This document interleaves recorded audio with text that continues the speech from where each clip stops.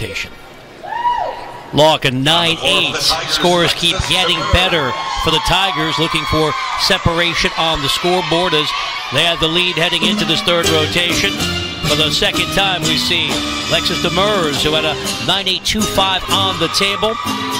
Here on floor, a 9.925 against Georgia two years ago. Won a floor title in her own right a season ago with a 9.875 against Missouri.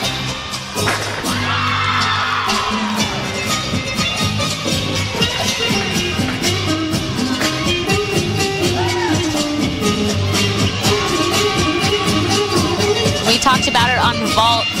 Even though she's tiny, she might be one of their most powerful gymnasts. A rarity on this roster, a senior and a fifth year senior, to be precise. With 9825 in the NCAA Super 6. She was part of a spectacular class last year. We were talking to Jeff, and he said that the freshmen this year are probably more talented than the seniors that they lost, but you know they don't have the guts and the grit of a senior athlete, but Lexus does. So hopefully she can bring that to this new team chemistry this year. Validating what she did a year ago when she earned all SEC honors.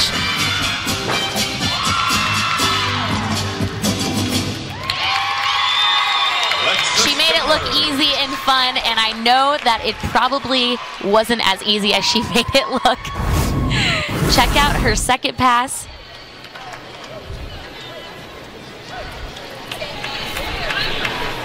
Uses the floor nicely and dances right out of it. Exactly what you want to see to add the artistic value to this floor team. And from the Auburn point of view,